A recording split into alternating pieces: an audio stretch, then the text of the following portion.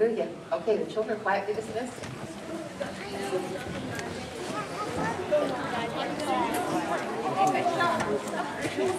Hello. I think you can open your Bibles to the Jonah. Say peace. But before we look at Jonah, we're going to read one scripture on on the screen. First John 5, 4. We may end up having to have a meet and greet on Wednesday night because we all know each other. I mean, We're not complaining, though, are we? Thank God. Thank God. Thank God. Before we read in the book of Jonah, now you know you always go to Jonah to look at Jonah, right? But tonight, instead of going to Jonah and look at Jonah, we're going to look at Nineveh. We're going to look about how do you know if somebody's in faith.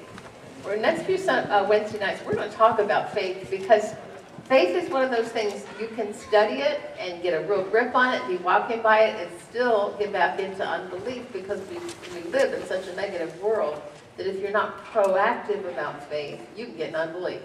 Okay? So to start out here, let's look at 1 John 5 4. Read it with me. For whatever is born of God overcomes the world, and this is the victory that has overcome the world, our faith. Now, has anybody had a battle with the world this week? Okay? Who's the God of this world? So who are we fighting when we fight the world? What is the victory that overcomes the world? Our faith. And who or what overcomes the world? Anybody born of God, whatever's born of God. How many have been born of God? So we're supposed to be world overcomers every day that we live. Praise the Lord. Now we should get very excited about faith because this says it's our key to victory. This is the victory that has overcome the world, our faith. But a lot of born again Christians or children of God are not excited about faith because they think faith is a mystery and hard to understand. Now, faith is mysterious in the sense that it is in the spiritual realm, but faith is not a mystery. Once you begin to study faith in the spiritual realm, you will find that faith operates on spiritual laws precisely as airplanes overcome gravity by physical laws. You got to understand when Wilbur and Orville got out there in Kitty Hawk and they flew for however many seconds that was, that was a mystery to a lot of people. It was like they almost thought it was supernatural. Men can't fly. But the reason is when you study um, natural laws, gravity always works. You, you hold a ball out here, you can release a ball 515 times, and 515 times it will go down and not up. We call that a law, right? Gravity. Faith is a spiritual law. Faith is a force. And we're going to talk for a little while tonight about the fact that you can tell what somebody believes by what they're saying and what they're doing. Now, that doesn't mean we're all supposed to go around judging each other. We're supposed to, I, I noticed I got out of faith in something, and I thought I was in faith on it. And as soon as I started looking at myself, I thought, oh, you're an unbelief. Guess what? And you say, well, why do we have to do this? Because God has wider and broader horizons for you. Okay? So, say this with me. You can always tell what somebody's believing by what they're doing and what they're saying. Now tonight we're going to look at Jonah for a minute. And you have to realize the people of, Nineveh were dreadfully wicked. And yet because they heard the word of Jonah that they were in danger, they believed, they repented, and were spared. Jesus said the men in Jonah's generation will rise up and condemn the generation he, he ministered to because they actually were bright enough to repair. Just as a little side thought, how many of you remembered when we did three Sundays on King Hezekiah? Uh-huh. Remember? Do you remember how they sat on the wall and screamed at him and said, "You're going to drink your own urine and eat your own dung"? Remember how wicked those? It was the Assyrian king, right? Well, just as a little aside, look at you don't have to turn there, but look at 2 Kings 19. This is the story of King Hezekiah. It says, when it happened that night, the angel of the Lord went out and struck 185,000 in the camp of the Assyrians, and when men arose early in the morning, behold, all of them were dead. Now look where the king of Syria lives. So Sennacherib, king of Assyria, this is the worst dude that has ever lived. Pretty close. I mean, he's like Hitler. Yeah. He trained his soldiers to go in and terrorize the towns by splitting open pregnant women and revealing the fetuses. And you've got to be pretty wicked and pretty cruel. That's what they were known for. They ter- They were the first ISIS. They, they used terror as a weapon. So Sennacherib, king of Assyria, departed and returned home and lived in Nineveh. So we're talking at Nineveh, some of the cruelest people on the face of the earth. And let's look at Jonah 1, 1 to 3. You probably remember part of this, but it says, The word of the Lord came to Jonah, the son of Amittai, saying, Arise, go to Nineveh, the great city, and cry against it, for their wickedness has come up before me. But Jonah rose up to flee to Tarshish from the presence of the Lord. So he went down to Joppa, found a ship which was going to Tarshish, paid the fare, and went down into it with them to Tarshish from the presence of the Lord. Has anybody ever tried to hide from God? We all have. How well does that work? No. So, from these three verses, I ask you the question, did God want Nineveh warned? Did Jonah want to warn them? No. So, you know the story, the big storm comes, they throw him overboard. Go to chapter 3. The, the great fish finally vomits him up on the beach. And in Jonah 3, verse 1, now the word of the Lord came to Jonah the second time, saying, Arise, go to Nineveh, the great city, and proclaim to it the proclamation which I'm going to tell you. So Jonah arose and went to Nineveh according to the word of the Lord. Now Nineveh was an exceedingly great city, a three days walk. That means it took three days to walk around the perimeter. Then Jonah began to go through the city one day's walk, and he cried out and said, Yet forty days, and Nineveh will be overthrown. Now, my question is, how are you and I going to know as we continue to read if the people believe? If they don't believe, they'll laugh him to scorn and mock and go on their merry way. I'm making a really basic point right now, and this point of the sermon is that you can always tell what somebody's believing by what they say and what they do. Let's keep reading, verse 5. Then the people of Nineveh believed God, and they called a fast and put on sackcloth from the greatest to the least of them. And when the word reached the king of Nineveh, he arose from his throne, laid aside his robe from him, covered himself with sackcloth, and sat on ashes. He issued a proclamation, and it said, In Nineveh, by the decree of the kings and his nobles, do not let man, beast, herd, or flock taste a thing. That means your dog couldn't get a drink of water for three days. We, we don't have cattle, so we don't hardly relate to them. Your cows couldn't drink and your sheep couldn't drink. Nobody's going to eat a bite or drink anything. We're going to fast and seek God. Do not let them eat or drink water. Both men and beasts must be covered with sackcloth. And let men call on God earnestly, that each may turn from his wicked way and from the violence which is in his hands. Who knows? God may turn and relent and withdraw his burning anger so that we will not perish. When God saw their deeds, that they turned from their wicked way, then God relented. Don't you love God? Isn't he merciful? Yeah. He relented concerning the calamity which he had declared he would bring upon them, and he did not do it. Now, how do we know that they believed? We know they believed because they called a fast. They repented. They said, we, well, let's seek God earnestly. It's obvious, right? Now listen to this statement. It is no mystery what you're believing tonight. Your trust in God, or lack thereof, is evident. Now listen, I'm preaching to me. This is what got to me this morning. All of a sudden I realized I needed to go back over the faith basics and be sure that I was, it's real easy to start coasting. The moment you start coasting, you start going downhill in, with the world, okay? And you need to, okay. It's no mystery what you're believing tonight. Your trust in God or lack thereof is evident. Now, it, this is solemn, and I understand that, but it's real easy to change. The same you that got into unbelief can get back in faith. Yeah. You need to be in faith for your kids, and faith for your future, and faith for your home. There is not any area of your life where you don't need to be using your faith. The good news is we can do it. Hallelujah. What you believe will ultimately determine what you're doing and saying, and it will ultimately determine where you end up in life.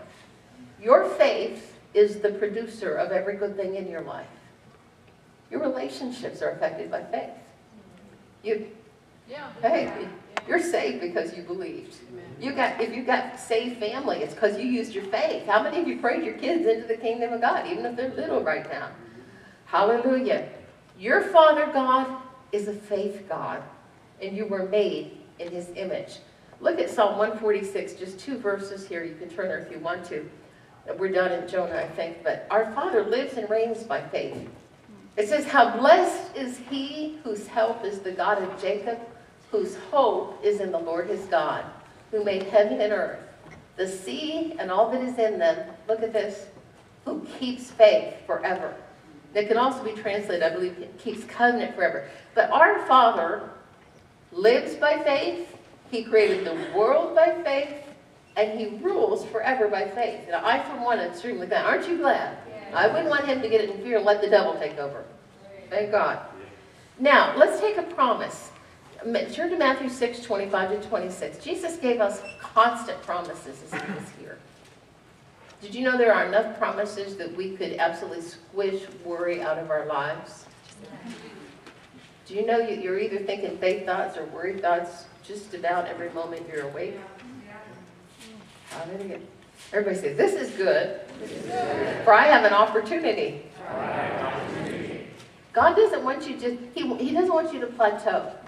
Wants you to be grateful for every single thing your faith has gotten us and to be always knowing exactly what you're believing for. I have heard Jesse Duplantis um, preaching this sermon, don't live in cruise control. Because you can get sort of just completely unaware of what's going on. Now look at what Jesus said here in Matthew 6.25.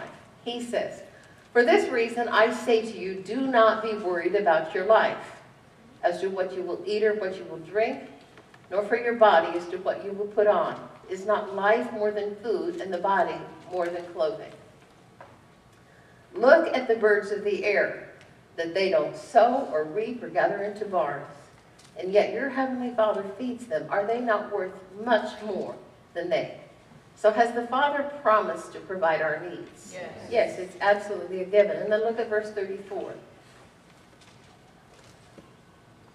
Verse 34 says, So do not worry about tomorrow, for tomorrow will care for itself. Each day has enough trouble of its own. Well, that is a big, big thing. That means if you're going to be concerned about anything, be concerned about this day. Don't worry about tomorrow. Every day's got enough trouble, it says. Now, the truth is, this is not new to you, what we're talking about tonight. I understand that. It's not new to me. And yet, after 30 some years of being filled with the Spirit, walking by faith, most of that time, I still have to go back over and just check the basics because I find, okay, hallelujah. Now, Mark 11 23 is the greatest faith scripture, and Jesus is the one who said it, so you can't really argue with it. Okay, some people think Kenneth Hagin wrote it, but he didn't. Okay? Read, what, read with me what Jesus said when they said, How did you curse that fig tree? Read this with me.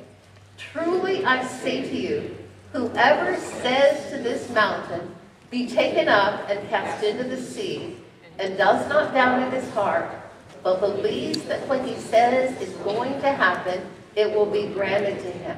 Now the Lord spoke something to Mark Hankins about this verse, and he said if I had added just two words to that verse, every Christian would have been a faith giant. And Mark said, well, what in the world do you mean? He said, if I had just said, truly I say to you, whoever says to this mountain, be taken up and cast into the sea, and does not doubt in his heart, but believes that what he says is going to happen, oh, that, but believes that what he says in church is going to happen, it will be granted. Ah. Now, now, we all say ouch. We all say ouch. Because we all have faith battles. I don't know, maybe it's because of some of the greatest faith battles you will ever fight are for your home and your kids. Now, you kids, I'm sure, think you're fighting faith battles for your parents. Right. But we gotta, I tell you right now, somebody prayed my future through. I'll just be honest with you. If I had been on my own, even my mom and dad, I, they loved me and I loved them and they were Christians, but they were super involved in career. My dad was president of a university, it was extremely demanding, and it demanded a lot of time. And I just about floundered and just fell away. If you know how away is, away, away. I had a grandmother who would not let me go, saw the call of God in my life, and decided that she would pay any price necessary in prayer to get me through. I'm not trying to threaten. I'm just saying, as far as I know, we pray our kids through to where they need yes. to be. Your kids should be. Okay, like that. Hallelujah. The Lord has given us a way to get the answers to prayer from heaven to earth, and the ladder He uses is faith. Now, I don't know how many of you are familiar with Bill Winston. Anybody? He is a preacher in Chicago, marvelous preacher. And he used this illustration, and it really helped me, and it's simple as can be, and it, it, maybe it'll help you. Okay. We are right here, right now, very aware of the physical realm, okay? We also know that there is a realm where the answers are. Do you remember Jacob's um, dream? Right as he was fleeing from Esau, went to bed one night, slept right out in the middle of nowhere, and had a dream of a ladder extending into heaven with angels up and down. Well, where were those angels going? They were going to the other realm. There is another realm. Amen. That realm is accessible to us through our faith and through our prayers. And what he says is this there is like a veil. We know that. And we're down here in this realm, and the answers are up in this realm. And the question is how to get what you need. It could be money, but I, I tell you, I think money is one of the easier things to get, unless you're squandering it. I mean, money is not a big deal. I'll tell you what you need. You, you need help for those that you love. You need vision for your future. You okay? You need faith itself. Sometimes what you need from this realm is faith. Okay. Now, what he said was, uh, let's take a scripture, and I thought this was the best I'd ever understood the scripture. Ephesians 1 3 says, He has blessed us with every spiritual blessing. Read this with me.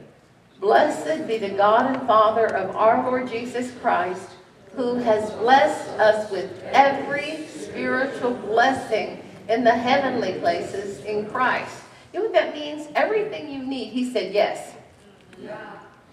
He's already said in 3 John 2, Beloved, I wish above all things that you be in health, prosper and be in health. Do you know what kind of year God wants 2016 to be for you? I can promise you this on the basis of his word. He wants it to be a year full of health and full of prosperity. That's 3 John 2. Amen. So if he's already said yes to your health, and yes to your prosperity, what is our job? Our job is agreement with what our Father has already spoken. And you can say, well, I don't want to have to live by faith. I cannot pretend to explain to you why God is a faith God. We were, I was born into this, were you? I'm not complaining. I like the way he runs the universe, and I like the way he runs my life when I get But whether you think you like living by faith or not, it is not optional. You can say, I don't believe Jesus died for my sins, and you will go to hell. Yeah. You got into heaven by faith. You are justified by faith. Four times in the scriptures it says the just live by faith. We, we get up in the morning and breathe by faith. You've got an insurance problem, you use your faith on that insurance. Our insurance problems like some of the worst. Okay? Use your faith on an insurance problem. You've got a career problem, you use your faith. Yeah. Your kids need help, you use your faith. This is it. So here's what he said. Bill Winston said this. Everybody understands that we're down here. And everybody understands that the realm up here is every bit as real, but it's more real than the realm in which we live. Right. Which is the parent realm. The, spirit. the spiritual realm. That's right. It was our this realm was created out of the spiritual realm. What your faith does is it takes the truth of God's promise and it superimposes it on the, the fact of this world. Now, the fact is you may have a problem with your arm, maybe a bad infection, let's say. We're not saying you don't have an infection in your arm. We're just saying that the word of the living God says that Jesus Christ paid for your healing. By his stripes, you were healed. And your faith draws it down into it and applies it and makes it real. Our job is to kind of the, the, it's wonderful if you have a happy marriage, both of you being, you know, uh, Christians. If you are humble enough to say, honey, correct me. We really, that was hard. I remember. But you know, I finally got to a place where I had to let Nathan correct me. I'm glad he's not here. He's saying that. When Nathan chilled, it's really hard. You don't think you're proud until your five-year-old says something that's true and you're wrong. And then you realize, I'm the parent. You're correcting me and you're right. But you see, faith is very easy for children. Now, you know why? There is nothing complicated about faith. You just believe it. It's like I've said before, if you tell a kid, Jesus wants you baptized, he says, is it today? Do I need a towel? Do I have to ask my mom? You, you never have to convince a child to get baptized. Go teach a children's class. You just tell them, do you love Jesus? Jesus said if you love him, you should get baptized. A hundred percent of them say, sure, when? Does it have to get any warmer? And they don't care. They just take what he says. And so when you said, you tell them, and you know, you know it's true. by his stripes, when he took that horrible, horrible, horrible um, beating and, and um, scourging, you were healed. They'll lay hands on you and get you healed even if your head's messing with you and you don't think you can get healed. Your kids will get you healed because it's so simple. But as simple as faith is, I'll say this again. The Lord has already said yes to everything we need. He has blessed us with every spiritual blessing in Christ. It is still incumbent upon us. Now, I know people who, uh, who do really well tithing for a while and then they don't. Now, I'll tell you why this is. Okay. Oh, yeah, I should bring that word up. You need a code word for tithing so it understand. I, I want to explain this. When you first are saved and you need healed, you can just, I remember when I first came back to God, I got filled with the Spirit. I had my wisdom teeth out within of two weeks, three weeks. And I just said, oh Lord, I don't want to hurt. And I don't want swelling. So I went and got my wisdom teeth out. I had zero swelling. You couldn't tell I had my wisdom teeth out. I took one Tylenol once because I'm not bragging. I'm telling you, this is how it is for every baby Christian. God's so excited. And he, he just says, oh, look, come on, little toddler. And he just takes care of you. And then when you start tithing, he wants you to encourage you. And he blesses the socks yeah. off you and you do better. And then on one day, it doesn't look like it's working. All right. Now, how many people have ever been a faithful tither and at that moment it didn't look how many of you have ever stuck with it and overcame it? It always works. But the devil is out to tell you it will not work. Okay? Now, how do we get to this? Oh, here we have, oh, I don't what I do with my little. If this is the two realms, as you grow up, God, the Father, expects you to use your faith routinely to pull in all you need, and then to use your faith for somebody else. And he will allow your faith muscles to get tested a little bit where you have to do a few push-ups and get a little stronger. Our answers to prayer are just out of view in the spiritual realm. Your faith is what accesses provision that's been made for you in the spiritual invisible realm. But you, if you, you say, why do I have to use my faith? Why can't daddy just dump it on me? He does. Later, he wants you to grow into the fullness of the stature of the man Christ Jesus. If you don't learn how to use your faith and stand in faith for yourself, you won't be able to go pray for the sinner and say, here, God wants to heal you and see miracles. Yeah. God, yeah. hallelujah. Philippians 4.19. This is another where it talks about the blessings we have above. Read it with me. And my God will supply all your needs according to his riches and glory by Christ Jesus. So if here, I like these other papers, but there they are. Okay. So here, we're down here. And some of us, we need a blessing from up above. All right? How does he, how does he supply our needs? He supplies it according to his riches. And you sometimes, if you truly have, you got to have something you're believing for financially. Okay? One of the best ways is to make a formal written request. Okay? Maybe it's to pay off your house, whatever. Write it down, husband and wife, and say, Lord, we would like to be debt-free. We are willing to cooperate. You see, you say, well, don't tell me anything about tithing. I don't know how to explain it otherwise. I don't know how to explain it. I would have zero, I mean, as in zero, faith for my finances with what I know. If you're totally ignorant and a baby, God's so good to you. You know. But I knew about tithing when I was five years old. Right. They gave me a dime. This was many years ago. Do you know how many years? No, you don't want to know many years ago. A dime was a dime back then, all right? All right.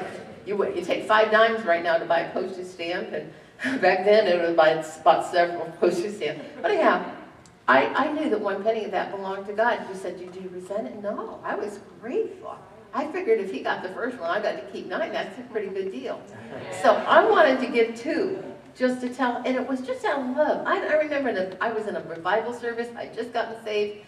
And I, I gave two pennies. My mom got mad. I remember that. She, she didn't know about sowing and reaping. She wasn't her fault. She thought, you just threw a penny away. a penny's a penny. It was back then. You don't pick them up then, now, but you did then. You buy, you buy something with it. You'll get some candy with a penny. Sounds like 1800s, doesn't it? This is bad. the dollar's gone fast. So what was I talking about? Okay, I per this is my personal belief. If you're going to prosper financially, you should cooperate with the system. Amen. And the way God has ordained for his kingdom on earth to be um, blessed and financed is through the tithe Yeah. and offerings. And you say, but I don't like to tithe. That's between you and God. What you're saying when you say, I don't like to tithe, is I do not believe he will open the heavens and pour out a blessing until there's no more need.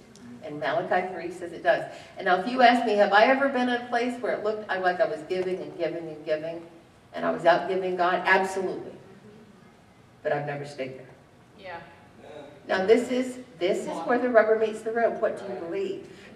If you really want to prosper financially in the kingdom of God, you have to believe that they, there is no way he would ever lie to you. Jesus is the one. We think faith preachers say, give and it will be given to you. Good measure, pressed down, shaken together and running over. We used to have motions to that verse. It's really cool.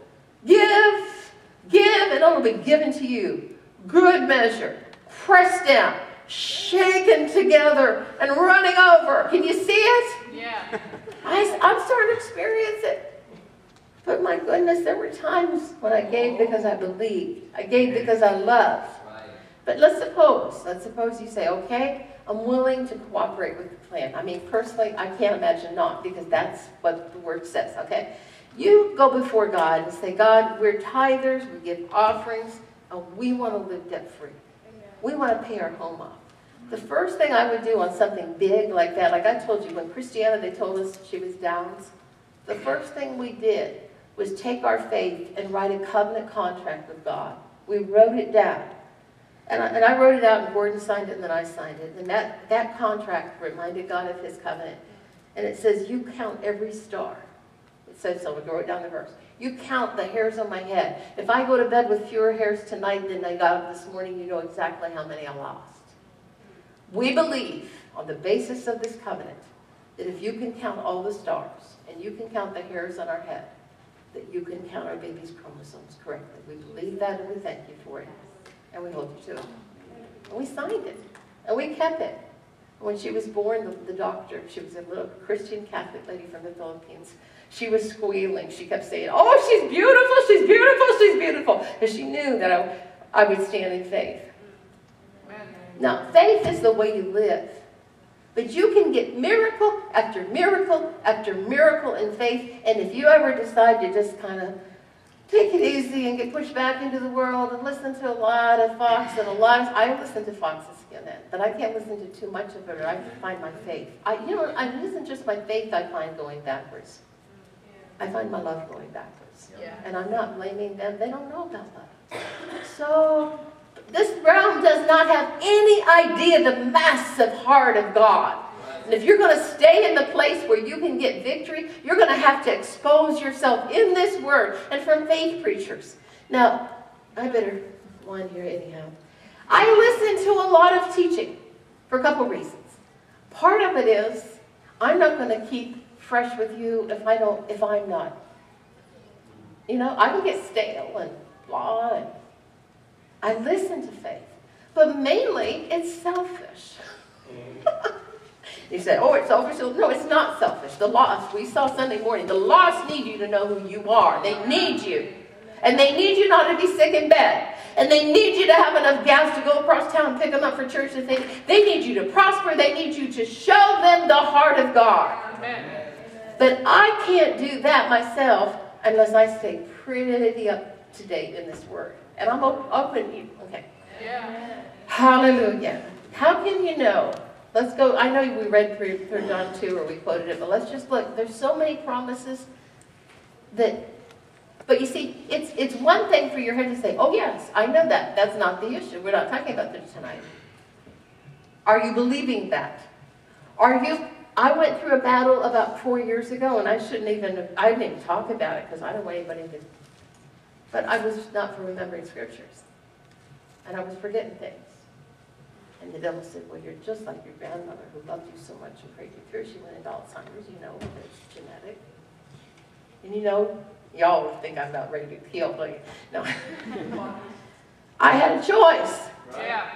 I had a choice that said, oh yeah, it's about the time for early onset. Or I had said, devil, you're a liar and you're the father of lies. I'm sure that I have the mind of Christ up oh, here above.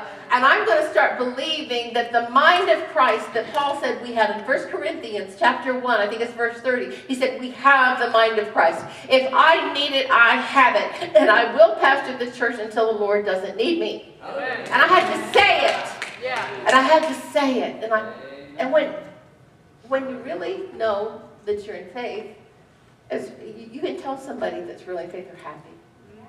They have peace. They can't prove it to you, but they know they got it. Yeah. 3 John 2.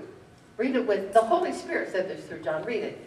Beloved, I pray that in all respects you may prosper and be in good health as your soul prospers. If you need healing, are you fighting God for your healing? No, His whole will is for you to prosper, be in good health in 2016. Now, y- like I say, if you accept that, what do you do and say? Who wants me healed? I just, like, I'm divided my body sometimes, but I always tell the Lord wants me healed more than I want me healed, and I need to be healed, and you will take the stupid, whatever it is, and get off my body. Amen. This promise is the end to worry and fear about our mental condition. If you're worried about your mind, and, and I've had other people, you know, some people say, well, I don't feel like I remember. A gentleman said, I don't feel like I remember scriptures the way I used to. Then you go and you say, he, he wants us to prosper, be good, good health as our soul prospers. Your soul is your mind, will, and your emotions.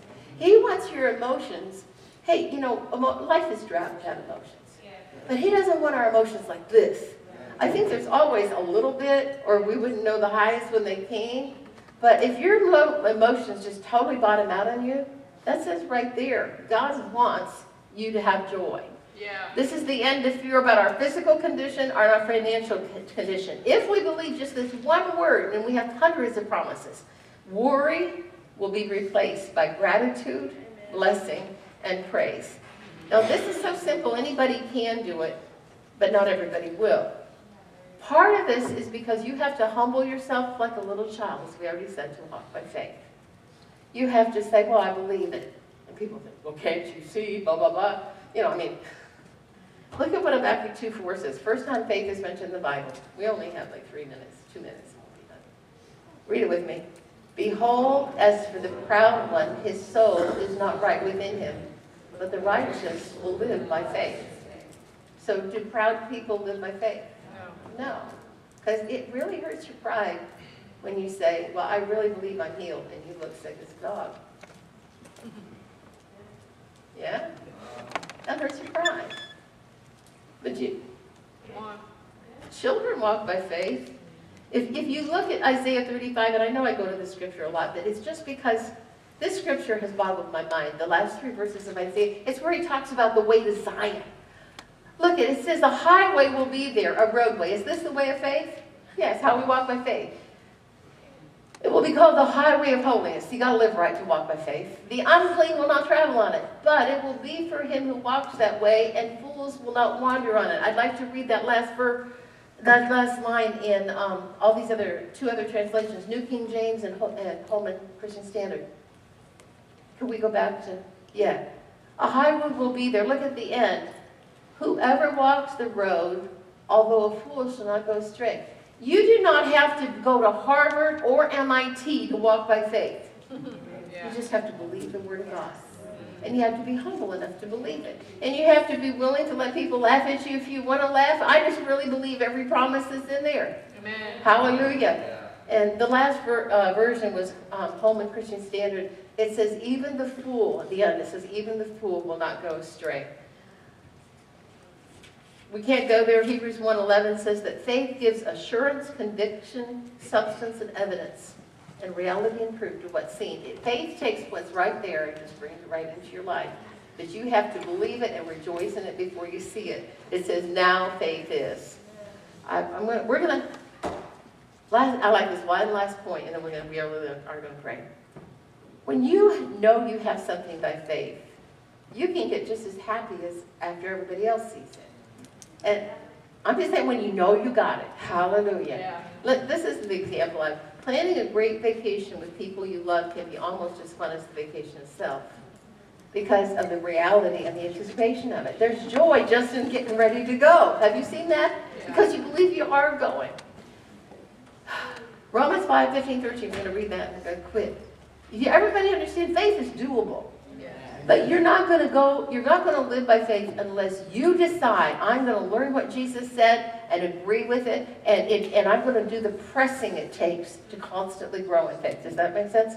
Look at this. It says, Now may the God of hope fill you with all joy and peace in believing, so that you may abound in hope by the power of the Holy Spirit. Roman, or Hebrews 11, 1, if we had time to go there, says, Now faith is the substance of things hoped for and the convictions of things not seen. What faith does is it takes your dreams and it brings them into reality. Yeah. And then you go back to Romans 4, 15, 13. My question I was going to ask you was, how much hope are you supposed to have? Look at the end, so that you may abound in hope. You're supposed to dream. Yeah.